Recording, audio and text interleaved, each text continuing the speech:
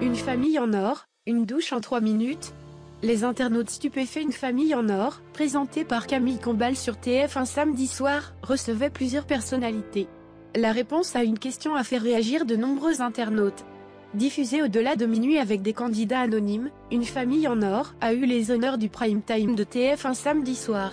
Camille Combal recevait à cette occasion quatre équipes de personnalités autour de l'humoriste Kev Adams, du chanteur soprano, de l'acteur Philippe Lachaud et des youtubeurs McFly et Carlito.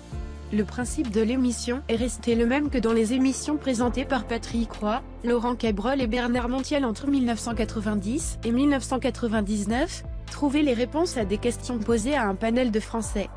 Parmi les questions posées aux candidats, quelle action du quotidien prend plus ou moins 3 minutes? La réponse la plus fréquente était « se brosser les dents ». Les autres bonnes réponses étaient « cuire un œuf à la coque », préparer un repas ou faire pipi. Parmi ces réponses figurait aussi « prendre une douche ». Une douche en moins de 3 minutes, vraiment? Cette réponse a fait réagir de nombreux internautes sur les réseaux sociaux. À l'issue de l'émission, l'équipe de Kev Adams s'est qualifiée pour la finale aux dépens de l'équipe de Soprano, tandis que la famille de Philippe Lachaud s'est qualifiée aux dépens de la famille de McFly et Carlito.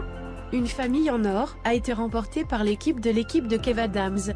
Un chèque de 30 000 euros sera versé à la Fondation des femmes. Combien de temps passent les Français sous la douche? La réponse de 3 minutes avait été posée à un panel de Français.